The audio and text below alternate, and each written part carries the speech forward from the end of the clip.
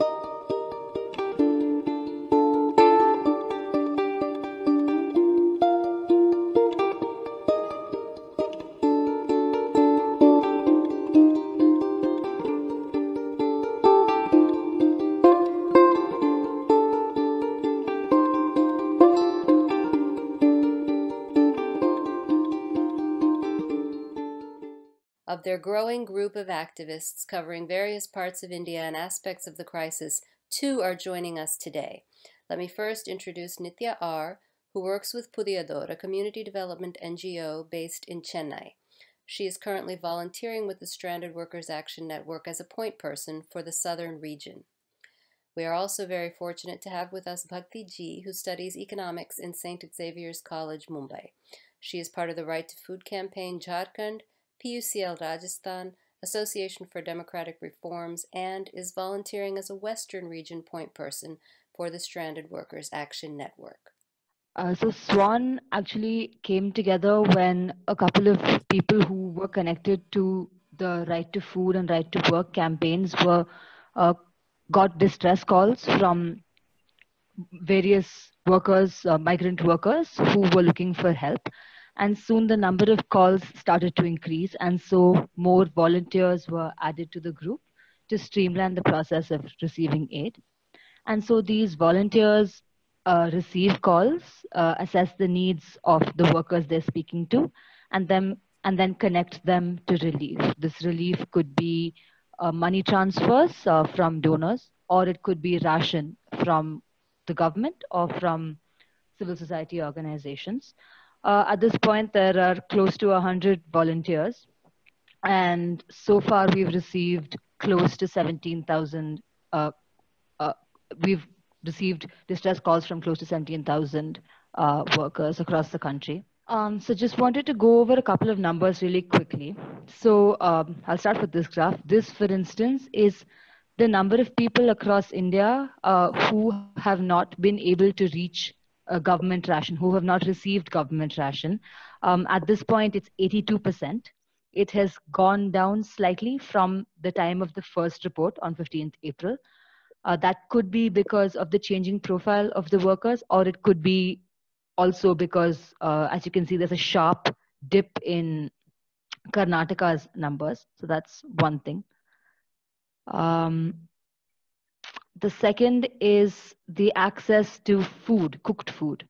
So the number of people who are not able to access uh, food is uh, about 68% now. It's marginally decreased uh, since the first report, but stays roughly the same. And about half the workers that we've called, as both these graphs graphs show half the workers that we called uh, are in a very dire situation where they have less than one day's worth of rations left. And they uh, about 97% have not received any money from the government. Um, and to move to this so as you can see over here uh, only 6% of workers have been paid fully uh, during this lockdown period 78% have received no uh, salary at all, and the rest um, have received partial amounts of ration. And Uh, as for, I'm going to stop sharing now. As for the number of uh, workers who want to go home, since that's an option now, about one third have said that they want to go home uh, of the, among the ones that we spoke to. About 40% want to stay back, and the rest are not sure. And a big reason for wanting to stay back is because they want to pay back the loans that they have borrowed um, during this lockdown period to get through this period. So that's a big source of anxiety uh, to continue being employed. Uh, and so that was the all India picture. I want to move to the su- South Zone. So the South Zone consists of Karnataka, Kerala, Tamil Nadu, Telangana, and Andhra Pradesh. Of this, uh, we get the maximum number of calls from Karnataka, uh, followed by Tamil Nadu. The other three states have relatively lower number. In Karnataka, the trend that we've been observing is that uh, we've get, we're getting more and more calls from a settled population, and the profile of the callers is of the distress calls is increasing. So some of them have ration cards, some of them don't. And if they themselves are in such a uh, need of ration, we can imagine the plight of the migrant workers from there. Uh, and migrant workers have they have a very different experience from uh, the locals for a variety of reasons. So they're generally regarded with a little bit of suspicion. And there have been multiple cases where migrant workers uh, have been discriminated against, or they have uh, they're always last in the line when food is being distributed. So often food runs out, or when ration is distributed, they are told that uh, it will only be given to the locals.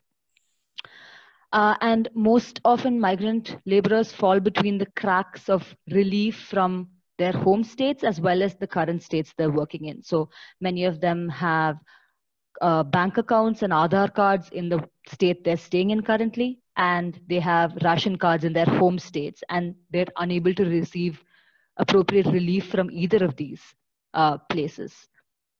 And in Karnataka, we have seen a positive response from the government, which is visible in the graph that uh, the access to food and ration is increasing. But at the same time, while the government has been very uh, approachable and very willing to work with uh, civil society organizations to maximize the relief, we see willingness, but also a lack of preparedness. And often they turn to civil society organizations for relief in some situations, or um, civil society organizations are often able to reach out faster than the government uh, relief. And uh, so those are a few of the trends and the challenges that we've been seeing. Additionally, now that travel has uh, come up, uh, travel is also an extra uh, challenge for migrants since most of the state portals in the south are in the in the state language, so it's absolutely not accessible for uh, migrants to fill in to register uh, their needs for travel. That's another uh, challenge. Uh, coming to the central and east zone, so Bihar, Jharkhand, Orissa, West Bengal, and Madhya Pradesh. So uh, this this zone has a relatively lower number of calls since most um, migrants come from these states.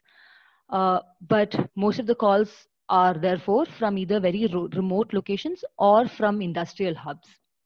And the trend there has been if a worker has uh, earned money and sent it to his family, then he is struggling where he is. Whereas if he's kept the money for himself, he might be slightly better off uh, in his new home, and his family back home is struggling. So it's either one or the other.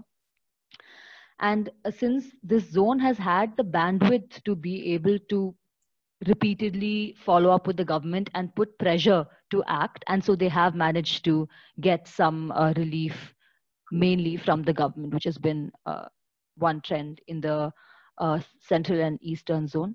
Uh, Bhakti, over to you for the other zones.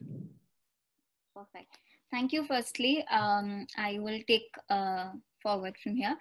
So um, I I am about to cover um, the west zone, uh, the two north zones that is Punjab, uh, Haryana, Delhi, uh, and UP, Himachal Pradesh but um, to quickly give an idea of how um, when we talk of migrant workers who are these migrant workers these are daily wage uh, mi- uh, migrant workers and a few of them also um, our monthly wages in that sense. So uh, moving on, I feel um, the most uh, dire uh, uh, state that, that we've come across so far is Maharashtra, and then is followed by Karnataka. In Maharashtra, around 4,823 people uh, are uh, in our in our in Swan's touch, I would say. Um, and the, and what makes Maharashtra uh, uh, the most grim of all um, is what I like to quickly um, uh, update everyone with. Uh, so as we know, uh, Bombay in particular, Mumbai uh, has largest slums, largest slum dwellings, and these are huge stretches of, you know, slum areas. Um, so, and most of these slum dwellings are inclusive of migrant workers. Um, when when the unplanned lockdown is announced this way haphazardly, um, th- there of course is uh, uh, the pandemic the virus is the problem but apart from that uh, if, if we consider um, the the slum areas definitely there is this problem of hygiene so uh, uh, if, if i'm if i were to point out problems in uh, mumbai particularly there is the issue of hygiene in um, the slum areas Secondly, uh, Nithya and every, uh, in fact, even Rohit ji and even Aruna ji has pointed out, what essentially we need to understand is whose responsibility is food security. So if we expect the entire of the uh, civil society to consider uh, food security as their responsibility, then it's completely wrong and it's completely obnoxious. Uh, so NGOs in Mumbai particularly are are exhausted. They're physically exhausted. They're materially exhausted. They're emotionally exhausted. Um, what is more disheartening in mumbai particularly is uh, that uh, very very little proactive uh, steps have been taken by local mps local mlas local administration uh, government websites are terribly maintained. Uh, the data is not updated at all. And that's just adding to our trouble or uh, trouble to people who want to reach out uh, to migrant workers. And the worst of all thing that i believe is um, asymmetry of information. So uh, mig- migrant workers when they call up the only thing that they say is how on what grounds do you expect us to know uh, which order is passed when. We don't have money to uh, recharge our phones.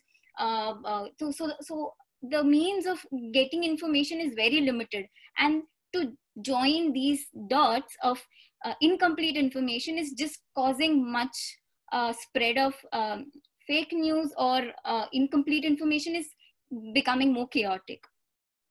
So um, in maharashtra if we were to say uh, uh, uh, the government came up with an order saying only if migrant workers are green signaled uh, and are tested negative in a particular test, can they go uh, and uh, go back to their home states? Now, where these centers are, what kind of tests are these, that is not clear. Um, as far earlier, uh, the the road, uh, the transport was just limited to road, but then uh, after much intervention, it, trains started coming in.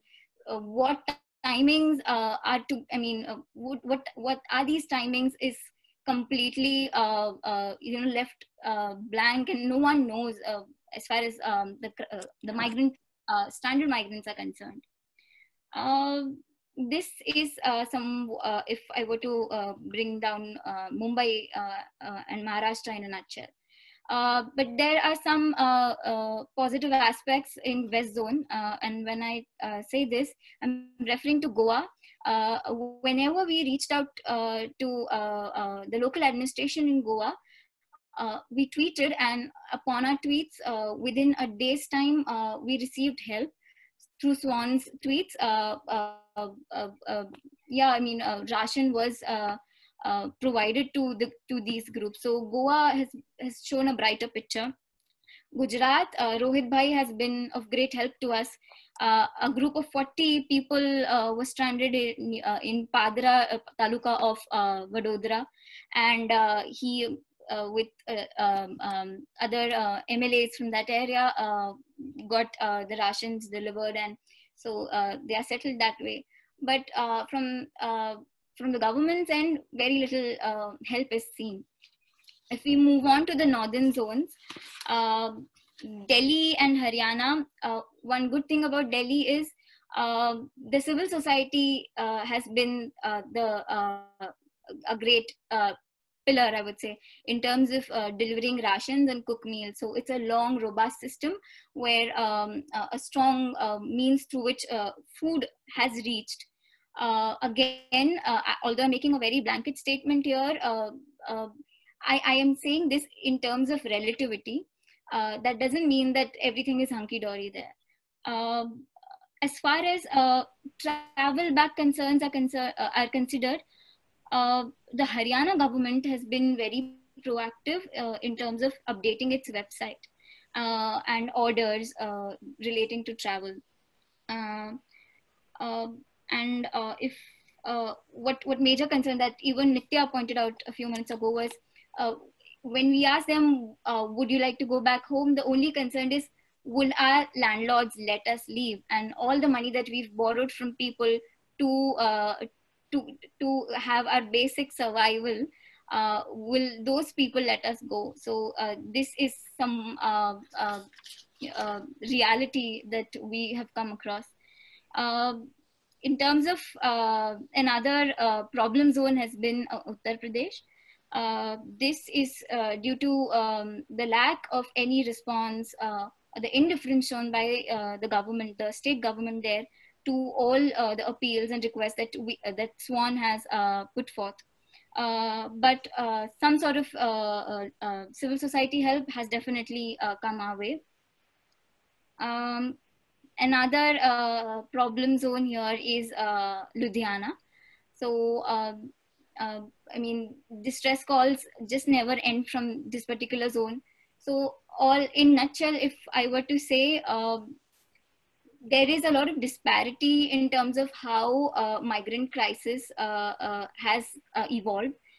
every zone is so showing a different picture. While on one hand, local administration has been of some help, um, uh, while on the other, it's just terrible uh, for our. I mean, uh, the the the worst of all, the infamous picture of all, I would say, is Mumbai currently.